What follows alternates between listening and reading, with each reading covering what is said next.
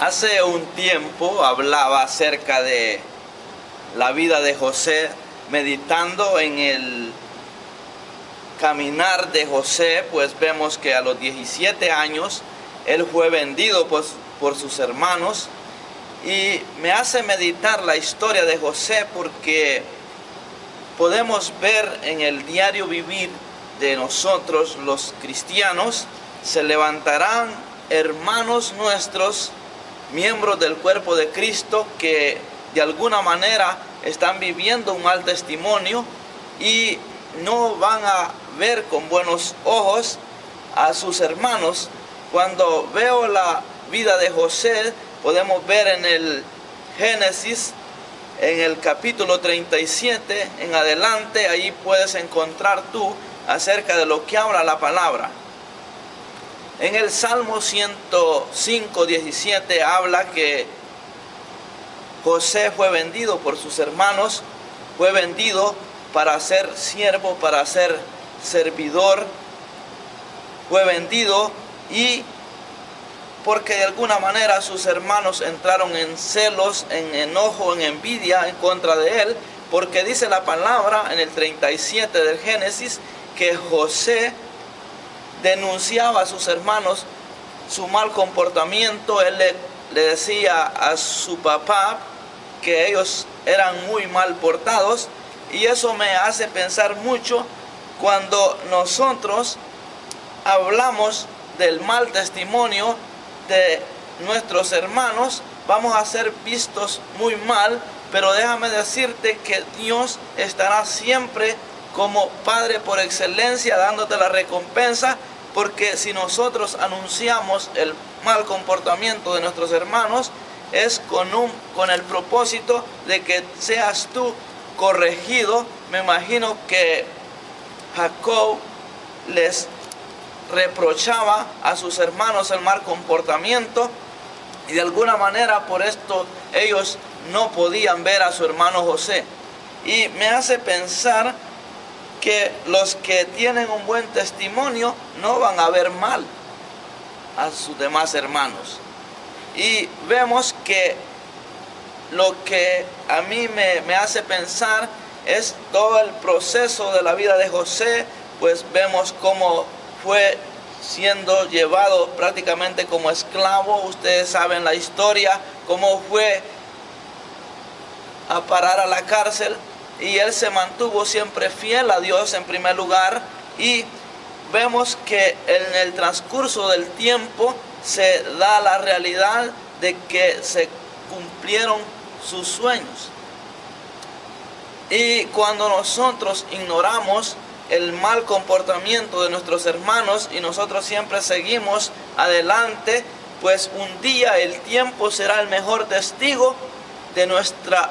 vida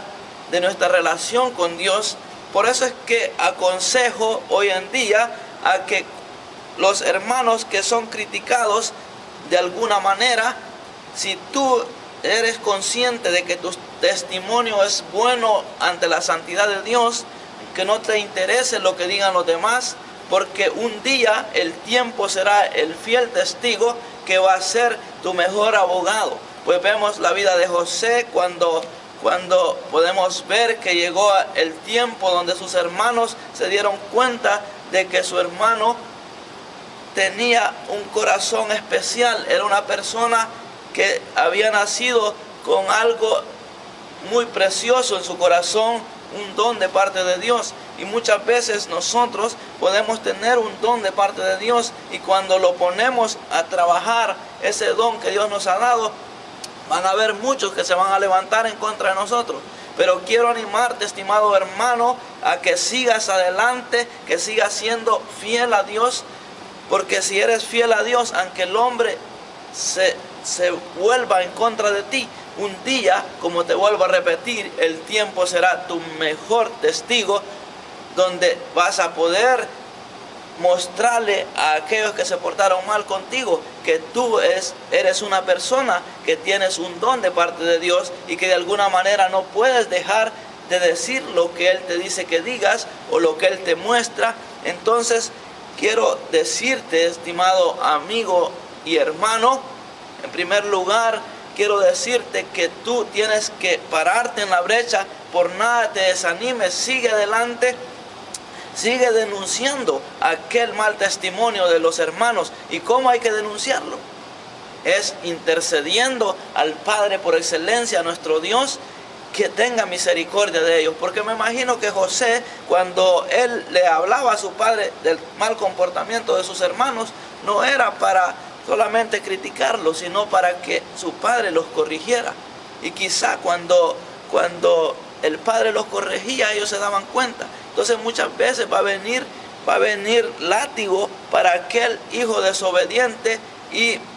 de alguna manera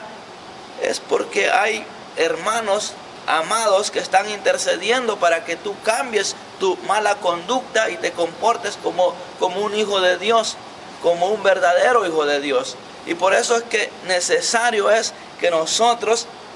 dejemos que el tiempo transcurra y sea nuestro fiel testigo de lo, todo lo que lo hemos vivido, de todo lo que hemos actuado, de todo lo que hemos hecho, porque un día José fue recompensado de aquella manera y pudo bendecir a sus hermanos. Yo lo que recomiendo siempre es que cuando un hermano te dice algo, tú tienes que ver que este hermano está estorbado, si te dice algo que quiere como dañar tu corazón, pero necesario es que aprendamos la gran lección que Jesús dijo, que hay que bendecir a los que nos maldicen y eso tiene un gran valor cuando nosotros actuamos de esa manera. Así es que hermano amado, yo te animo a que si tienes anhelos en tu corazón y de alguna manera tú los has compartido con alguien y ese alguien ha entrado en celo por eso que tú le has compartido, no te preocupes. Sigue anhelando lo que un día te lo va a dar. Y recuerdo en cierta oportunidad yo le compartí a uno de mis tíos el anhelo de mi corazón y, y era que algún día yo iba a tener para darle a los a los pobres. Y recuerdo que mi tío me decía, si tú vas a ser pobre, ¿cómo le vas a dar a otro pobre? Y siempre me maltrató, me maldijo diciéndome que yo siempre iba a ser pobre porque a pesar de vivir en pobreza, tenía un don de parte de Dios que me gustaba compartir con las demás personas. No importa que no tuviese que comer mañana, pero desde pequeño me gustaba compartir con los demás. Y era un don de Dios pero recuerdo que mi tío siempre quiso ah, matar ese, ese don de Dios en mí, pero déjame decirte que con el transcurso del tiempo he visto que ese don no pudo ser quitado de mí, porque aún sigo compartiendo. Lo que tengo es para compartir y he disfrutado la vida. Creo que es el mejor regalo que Dios me ha dado, poder compartir con los demás lo que tengo. Y me hace pensar esto porque ya han transcurrido muchos años donde mi tío me decía, tú no vas a tener ni donde caer muerto, porque todo es para dar, para dar, para dar. ¿Y, qué vas a tener cuando estés viejo?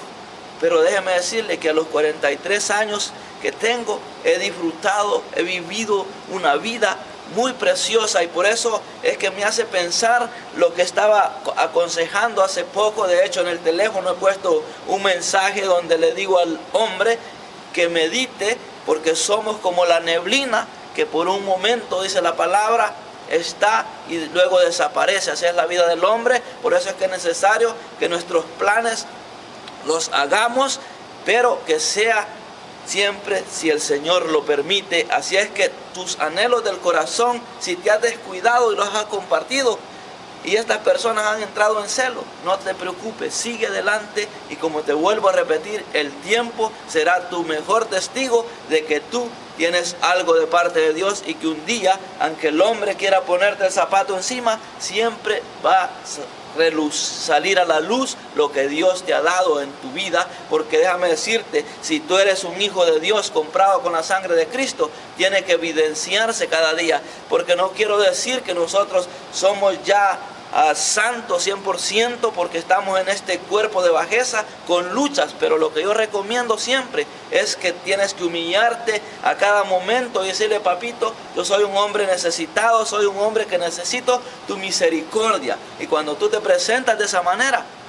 puedes darte cuenta que Dios te va a auxiliar porque la misma palabra nos dice que un corazón contrito y humillado Dios no desprecia. Por lo tanto, necesario es, estimado hermano, a que caminemos este evangelio. Démosle para adelante. Yo siempre aconsejo que si vemos un hermano con un mal testimonio, no lo critiquemos, sino que le llevemos al Padre eh, esa, esa oración de intercesión por este hermano y dile, papito, ten misericordia de mi hermano y acércatele a él y,